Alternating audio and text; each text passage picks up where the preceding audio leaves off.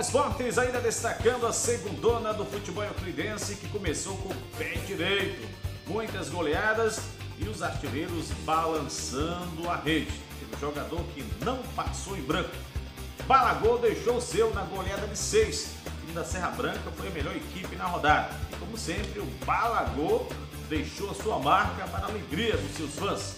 Vamos conferir com imagem da Web Euclides, o gol do Nego Bala. Graças a Deus a gente saiu com a vitória, que é o importante.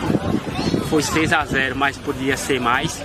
E é agradecer aos meus companheiros, ao, ao, ao coletivo que prevaleceu hoje. Vai pra bola, Nego Bala, deu aquela sambadinha, parou um pouquinho, preparou, mandou chumbo graço!